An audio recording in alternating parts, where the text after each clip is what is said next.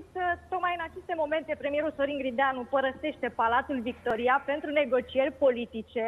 De altfel, o informație în exclusivitate este că domnul Tudorel Toade, ministrul justiției, nu va participa la această ședință și a delegat unul dintre secretarii de stat, Sofia Mot, cea care a invocat brusc care, că i s-a făcut rău înaintea ședinței de guvern. De fapt, doamna se află într-o stare foarte bună, însă se pare că sunt probleme de natură politică, este din Olt și este reprezentanta unei persoane din aripa lui Liviu Dragnea, vorbim aici de celebru Paul Stănescu.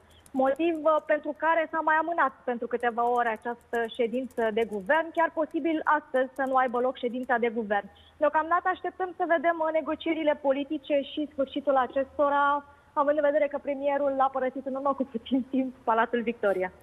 Mulțumesc